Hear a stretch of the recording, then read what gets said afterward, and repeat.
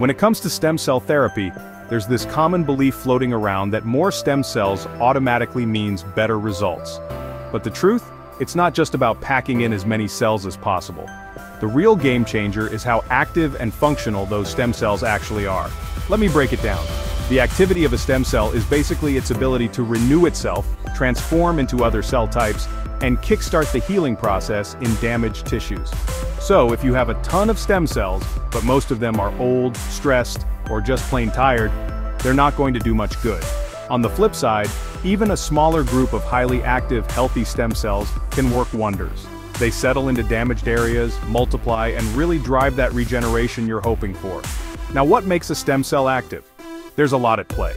Everything from the environment around the cell, think nutrition, low stress, and the right mix of growth factors, to the signals and nutrients it receives, these all shape how well a stem cell can perform.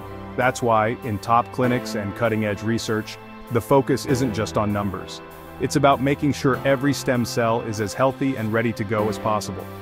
Researchers are even exploring ways to boost stem cell activity before they're used, like priming them with nutrients, tweaking their genes, or exposing them to certain growth factors.